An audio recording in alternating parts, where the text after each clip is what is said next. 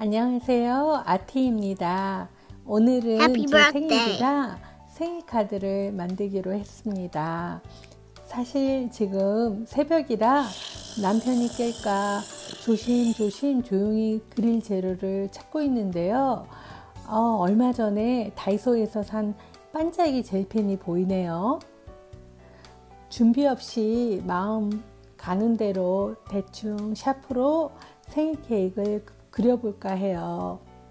요즘 코로나로 인해서 집콕을 하는 바람에 살이 많이 쪘어요.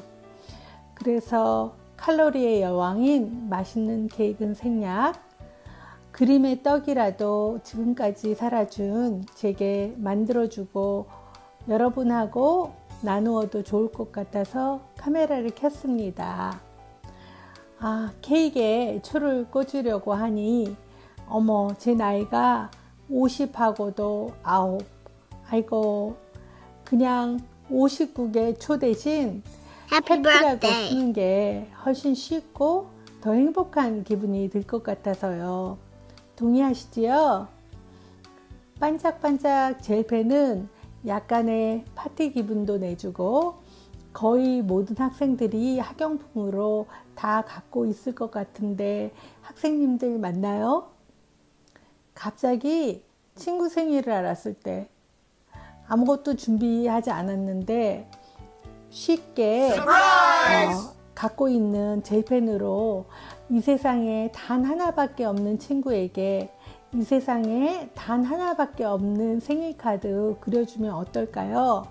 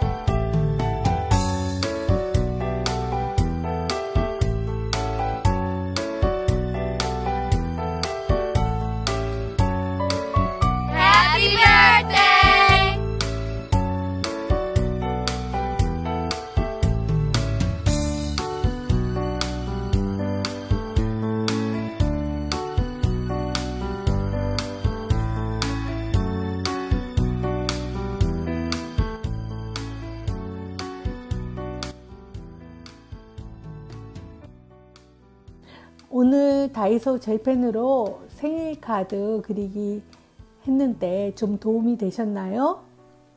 도움이 별로 안 되었어도요.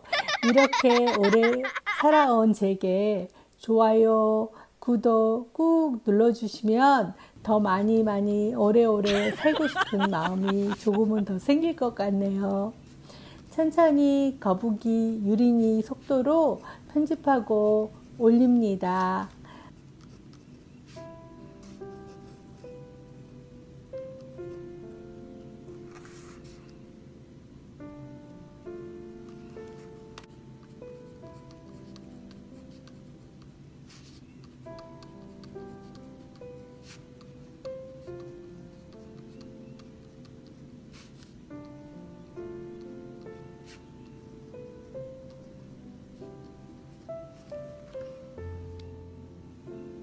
네, 그러면 다음에 뵙겠습니다.